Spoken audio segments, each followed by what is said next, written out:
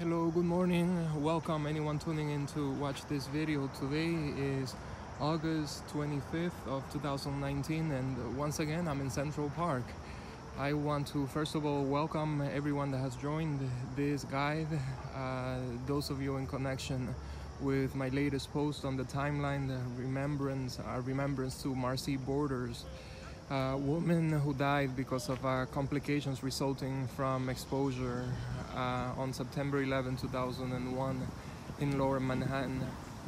Today it's another day. It's uh, a day where we remember the founding of the national parks system in the United States. I've already posted about this on my timeline. And to keep up and basically maintain the continuity on this timeline, today we find ourselves once again in Central Park.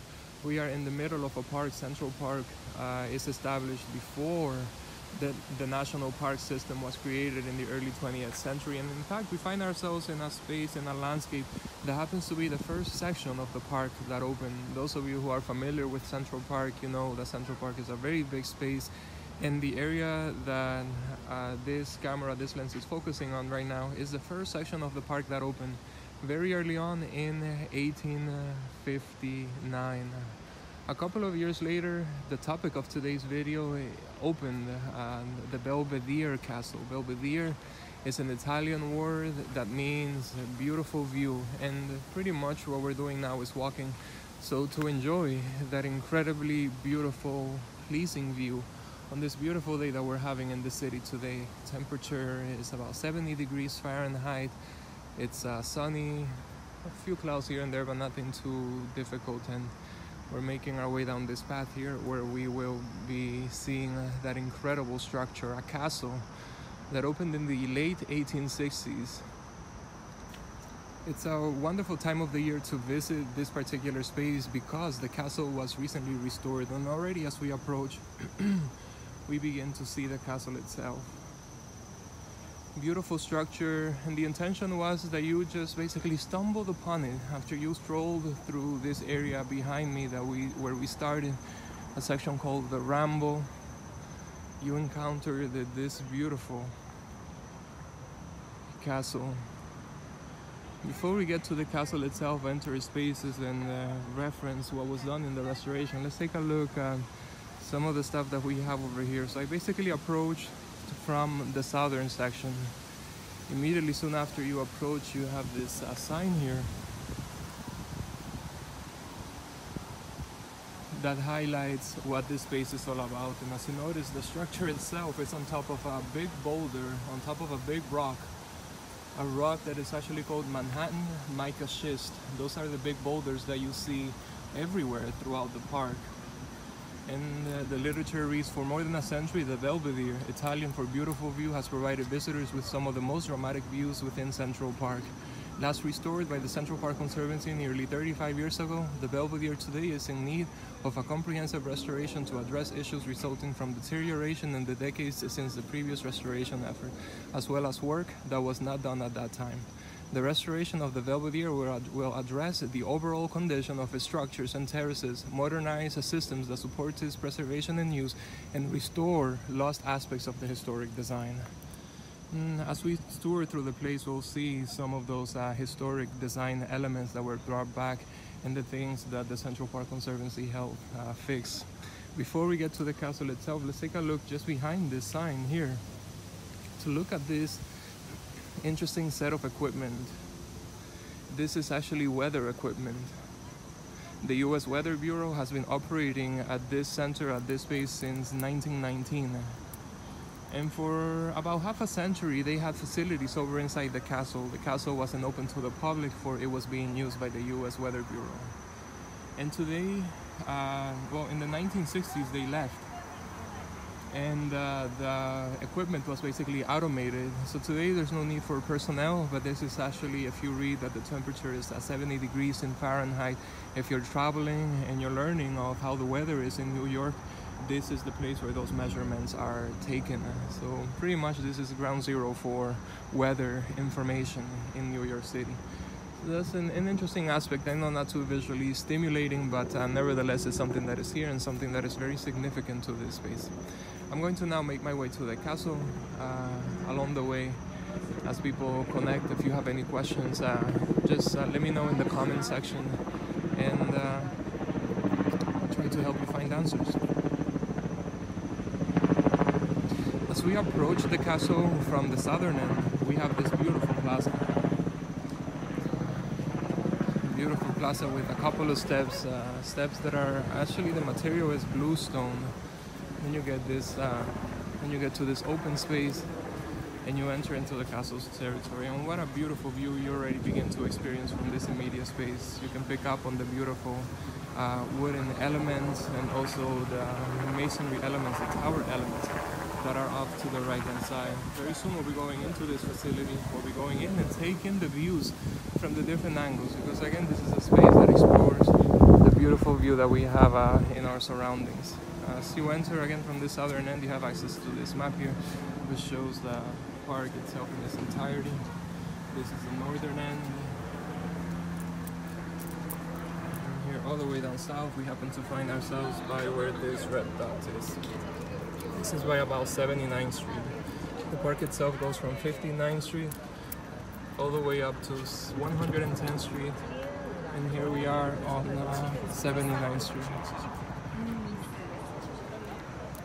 As we begin to explore some of the some of the highlights of this castle, we begin to encounter these wooden pavilions. It's a beautiful example of the diversity of architecture that you have within Central Park. This structure here wasn't originally built, and uh, later on, as we walk along, you'll be able to see uh, photos that reference how this looked for almost nearly a century. This was uh, proposed in the original design for the park and it was built, but it became unstable and it was taken down.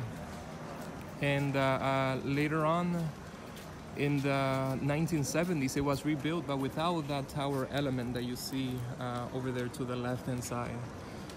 This uh, tower element is part of the new restoration or was brought about in the new restoration. So pretty much if we look at drawings and illustrations, what we have in front of us here today pretty much looks the way that it was originally intended to look in the original design. And it's interesting how this uh, wooden pavilion also echoes the larger structure that we have off to the right hand side. It's a beautiful sunny day. I am working in the park today. I'm just gonna approach a little bit uh, in this direction here so that we can take in the view. Again, this is a space where we take in the views that we have from the different perspectives from the different points. This is looking north. I'm gonna go down a couple of steps just so that we can get closer or basically on top of the stone, on top of the boulder that the castle itself is situated. We hear some interesting sounds. That's because on the other side down there. That's the Delacorte Theater. That's where uh, Shakespeare in the Park is presented almost every year. And it's an interesting time because uh, the production that they have going on now is um, put up or organized by Disney. And it's a production of Hercules based on the 1990s animated series. Very soon we'll move into the castle itself and we'll have a nicer uh, view of the theater itself. From this point, in addition of the theater right down there in the middle, the Delacorte Theater, we also have the pond or turtle pond. One of the seven bodies of water in the park. And if we span the camera a little, a little bit off to the right, you can see the castle on top of the rock. And spanning the camera up, we can see the top of the castle itself. Alright, let us now keep moving, go back up these steps, go back to this uh, wooden pavilion. Beautiful the way it looks from this angle here, tower, which again was added in the latest restoration, this restoration that was completed just a couple of months ago.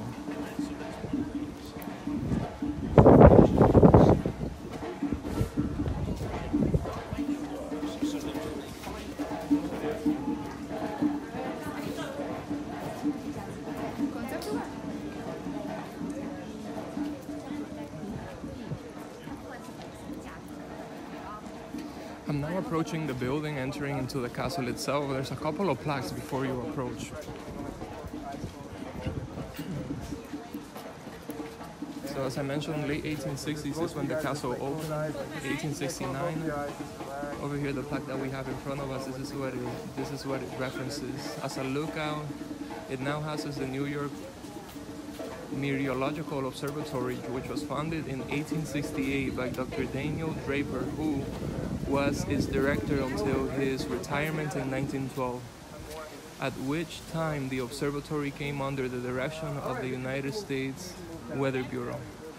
So a little bit on the history of the weather aspects of this uh, structure, and then over here, another reference this was installed after the 1982 restoration. And again, we see the castle itself directly on top of this rock, uh, Vista Rock. A couple of days ago, uh, we did a video tour of a place called the Hallett Nature Sanctuary. The Hallett itself is one big boulder, one big mass of Manhattan mica schist. Manhattan mica schist is this, the stone that you see here. These big boulders are everywhere in Central Park, and the castle built on top of it. Over here it lists built in 1872, but already on the other side we saw another piece of information that reads that this opened in 1869. So 1869 it probably opened as a lookout and then in the 18 in 1872 is when construction was completed. Before we enter the building itself, I want to take a look at the new plaque that was installed. This was put up here in uh, 2009 and this was done because this is when the latest restoration was completed. Restoration of the Belvedere was made possible through the generous support of the Thompson Family Foundation. $12 million went into restoring this building. A couple of things were done. We've already seen the wooden element that was fixed, the, uh, the wooden pavilion there, and as we tour through the building itself, we'll see a couple of others. What's interesting about this plaque as well is that I think this illustration of the castle is uh, three-dimensionally printed. So comparing it to the other one down there, that kind of looks like a relief, and this is three-dimensionally printed. And it's interesting to note uh, the ways that this uh, renovation has adapted or reflects on the current cultural climate. We'll touch on that as we enter. Now, one of the new elements of the restoration are these glass doors. Now, originally when you visited here in 1872, soon after it was completed, you didn't have doors. You didn't have windows either. This was a space that you were meant to basically stumble upon. And it was just a lookout, kind of like a structure that you find almost in the middle of nowhere. And again, the emphasis is the views. We're going to be focusing a lot on the different things that there are to see throughout Central Park because the views they add something they add value to this space and as we've touched on previous videos later on uh, we'll touch on that a little bit further you are greeted by a sign when you enter reading the hours of operation of the castle now that is restored fall winter and spring closed thanksgiving christmas day and new year's it's open from 10 a.m to 5 p.m Summer hours are a little bit different. A fall, winter, spring, 10 a.m. to 5 p.m. If you visit, this is definitely a must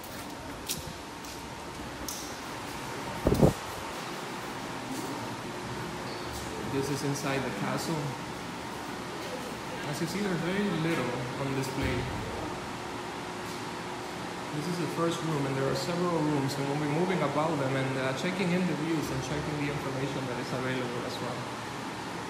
So the doors are new elements, also the windows. Notice the beautiful frames that are created as you look through each particular window. From this particular vantage point we have a beautiful view of that wooden pavilion. And uh, looking down this next window here, we have a nice view of Turtle Pond if we get closer to the window itself. A nice view of Turtle Pond and the, the Delacorte Theater. There are other windows where you can have you have a very nice frame of that structure down there in the middle. This is the um, stage prop that is being used in that uh, production of Hercules. There are turtles swimming on Turtle Pond as well. And coming back to the building, we encounter a couple of signs. This highlights some of the restoration elements. The Conservancy took a comprehensive project to restore and waterproof the Belvedere structures and terraces, modernize its mechanical and utility system, and restore lost aspects of the historic design. Our work included restoring the wood pavilions on the main plaza and on their terraces, the structure that we highlighted, replacing the existing windows and doors with clear pane glass to evoke the Belvedere's historic open-air design. So originally this is how these windows look. They have paints over them, clear paints, and then later on this was done. And today this is what we have. This clear glass that evokes that original design. Stone pavers were also put in place in the terrace. And uh, they modernized the mechanical systems and upgraded the utility services. And this is interesting because what they did was workers dug 400 feet into the ground to construct the Belvedere's geothermal system. Now the castles use the temperature of the earth for its heating and cooling. This sustainable and environmentally beneficial system uses less carbon and is energy efficient.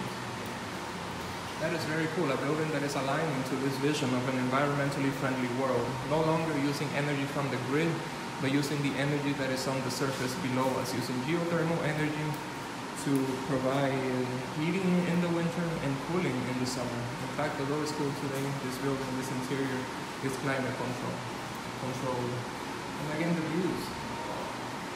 Turtle Pond, Belvedere, uh, sorry, the Delacorte Theater. And already we're beginning to see the Great Lawn. So we're going to move a little bit further down. We're going to, uh, going to take a look at these images that we have on this poster here. The city goes and references that which I mentioned a little bit earlier, uh, over where we saw the wooden pavilion. This is how this space looked uh, in 1904 because again they had to take down the first pavilion that they put up because it became unstable. So, and also the view that you had on the space in front wasn't of the Great Lawn, wasn't of Turtle Pond, but of a structure called the Croton Reservoir. Yes, a reservoir that was built in 1842 was situated more or less, or really where the Great Lawn is directly up ahead. Turtle Pond was created later. The Great Lawn was created in the, also later in the 18 in the 1930s. So from this, a view of the reservoir, the castle, to this, a view of Turtle Pond and the lake. The Central Park has been here for 160 years. There were things here before the park, and uh, things have been done after the park was actually created. We're going to go up the steps, make our way over to the second level. There's a second room that you enter before you go up those steps. And if you look, again, you have opportunities to look out the windows, framing those views. Very nice view of Turtle Pond. This is Vista Rock further down here, closer to us. And spanning back up, that is the Great Lawn. When uh, opportunity um, allows, we are going to go up the steps and take in the views from those upper levels. There's only one way to go up and one way to come down, so you have to wait as groups of people come down and then you yourself get an opportunity to go up the steps. I'm gonna stand in line and very soon we'll get our opportunity to go up ourselves.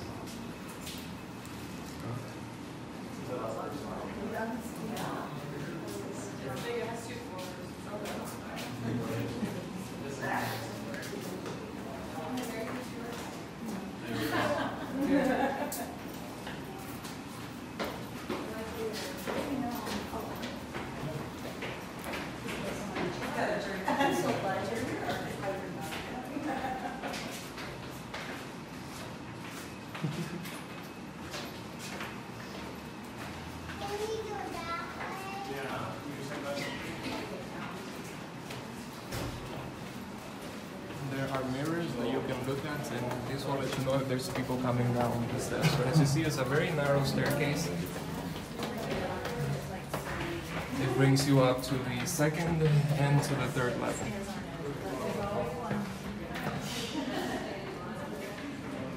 I'm going to go all the way up to the third floor. Let's take in the views from the highest levels, but already we begin to see some differences. Uh, double pane windows.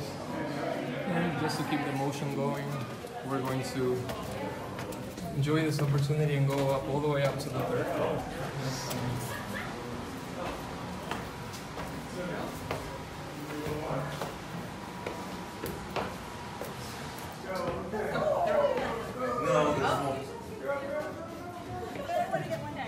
That is cute. That's cute. And we've made it to top level. this is the Ramble looking south. This is looking west.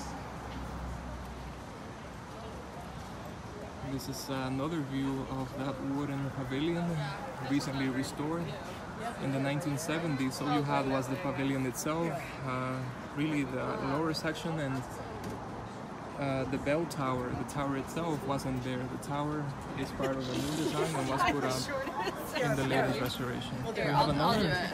I'll do it. wooden element Here, I'll go down. from this vantage Oh, wait, point, here. and it's this one over here, This side. which is quite nice, a little bit more personable. Beautiful polychrome masonry, beautiful tone, and beautiful frames created depending depending from the angles that your experience from. This is now looking north. This is from where you get the most expansive view. This is the highest point in the park. It's not the highest natural elevation, but it is the highest point, and the views are just incredible. The space down there is a great lawn, very popular space for concerts. Uh, very soon, the Global Citizen Festival will be happening on that field there, and we'll have an of over 50,000 people. In the fall, the view changes beautiful colors, and in the winter, even more as well. You even have more access to things to see. For example, there's an obelisk hidden behind those trees on there, a structure called Cleopatra's Needle. This is looking east now. And looking down. there's a bars going through. That's one of the four transverse roads in Central Park. The transverse roads are unique features to the design of this space and it basically allows traffic to flow from east to west without interruption. And this is those roads are sunken and there are bridges throughout those uh, streets uh, for transverse roads that create for a continuous park experience. In fact, directly under this castle, there's a tunnel that was uh, created as the, the bedrock, the Manhattan mica schist, this big rock on which the Belvedere Castle stands on top. And they dug that tunnel, and today cars go through it. That would be an interesting feature to show in a future video too as well. Here we have a view of the tower of the castle itself. It's a circular with a conical roof and the flag of the United States and also some weather equipment up there as well.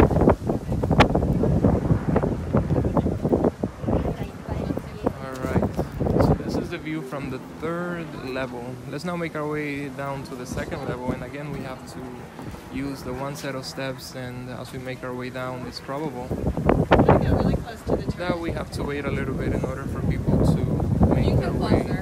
Yeah. to make their way up our high secret movement, so that means we are heading down. So let's go down to the second level so to finalize this video to that particular point.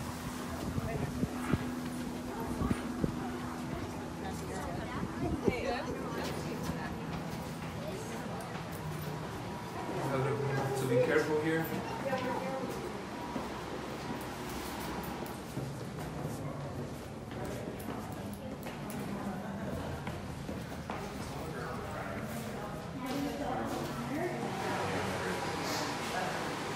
Alright, we've made it to the second level. Here we have uh, double pane windows, which again creates for very interesting frames if you think about it. On a day like today, it's a perfect day to come and experience these beautiful sights. The views that we saw down from the first level have now, in essence, been transformed by this uh, duality, by this duplicity of form that we see in front of us.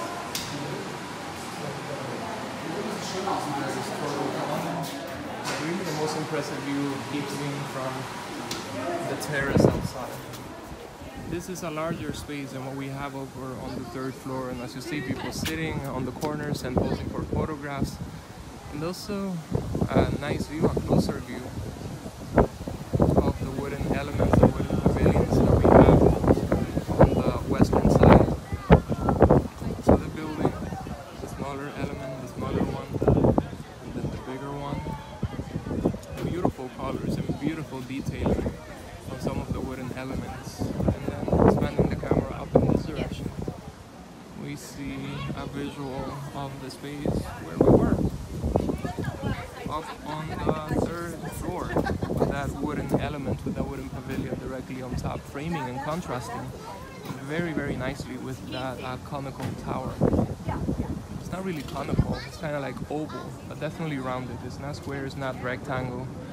We have uh, different forms repeating and echoing throughout the structure, again creating for this dynamic of incredible visual stimulation. A lot of visual interest, different materials as well, different stones. For example, the uh, the tops, these elements, this type of stone is a stone called blue bluestone. The building itself, the castle itself, the main walls are made of Manhattan mica schist.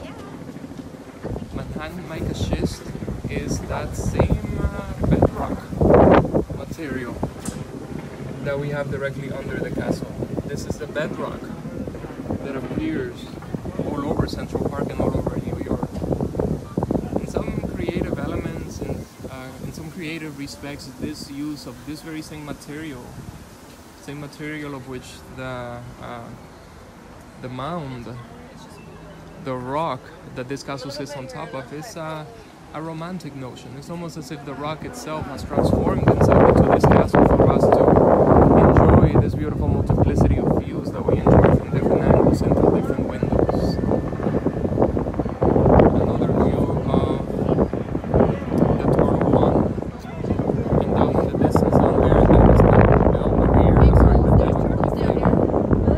The three towers that you see is a reference to Mount Olympus. Mount Olympus is the dwelling place of the gods, of the Greek gods, and this display that we have here is in reference to the Hercules production that is happening over at the Delacorte Theater this season, this time of the year. Production that started on the 20 something of August and is running up until September 6th. The production is usually held at 8 p.m. in the evening, and tickets are distributed beginning at noon. Uh, tickets are free. You do have to show up here early to stand in line, so to potentially have access to those tickets, they begin distributing at 2 p.m. at 12 noon actually. There's also a lottery system you can enroll, and if you win, you get two tickets, and you get to enjoy a production with very good actors. People like Denzel Washington, Meryl Streep, and countless others have performed as Shakespeare in the Park. That's where it happens over at there. Another view of Vista Rock. There are plenty of turtles sunbathing. If you focus on the, uh, on the foreground, right in the middle there, dots that you sort of pick out, pick up are actually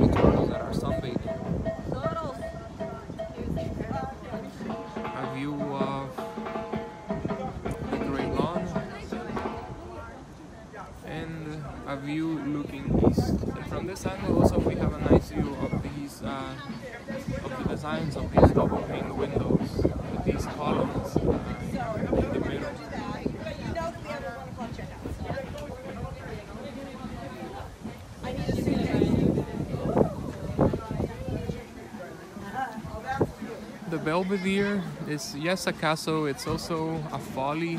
It's a structure sort of in the middle or in the middle of not I don't want to say nowhere, but something that you find as a surprise after you stroll through the uh, through the Ramble, one of the three woodlands that we have in the park. And again, the Ramble is the first uh, structure that opened, or the first section of the park that opened that allowed for people to stroll and enjoy uh, what the park was supposed to be all about.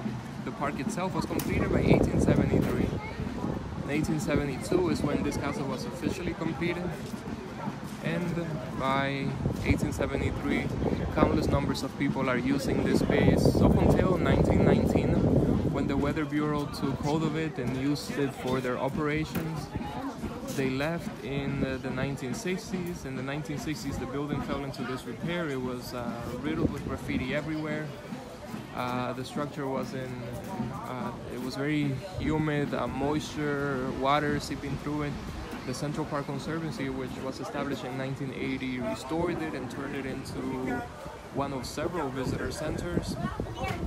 And with the latest restoration, uh, work was done so to further control that uh, that moisture problem and the decay that the building had gone through over the last two decades. Air conditioning was installed as well, and those clear glass windows that all comes about with this latest $12 million restoration. If you find yourself in New York, definitely check this spot out. Uh, connect to my guided visits on my meetup page and uh, come on a tour. Today is a special day, it's a beautiful day in New York. I'm leading a tour on a section of the park where a community of black Americans used to live, a community called Seneca Village. Uh, Seneca Village, unfortunately, was eliminated in order to make way for Central Park. New York is a place where, or that is really visual in character, and the things that you see here have the potential to transform you. In future videos and in the posts that I'm uh, preparing for the Facebook timeline and my website, all are organized with the hopes that we can learn and pick up a little bit in the creative dynamics that make these spaces the incredible icons that they are. And in the process become iconic ourselves standing from it. A place that inspired that inspires so much is marked by incredible visual characters. And I hear that there's some maybe sound testing happening over at the Delacorte Theater. That is for the Hercules production. Alright. I